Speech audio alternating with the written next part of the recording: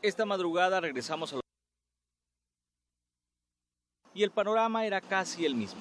Agentes de la policía custodiando los apartamentos. Frente a la fachada de los edificios, los agentes con fusiles.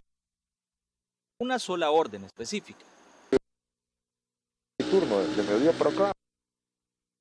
Tenemos una seguridad permanente, indefinidamente.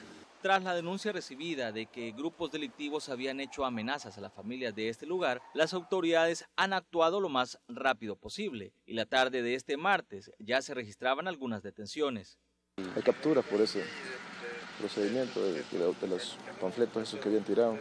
La gente por el momento no, no quiere tener comunicación por, por miedo, ¿verdad? Pero se puede ver que tiene más tranquilidad mientras los habitantes que han quedado dicen no tener otra opción y dicen confiar en la PNC.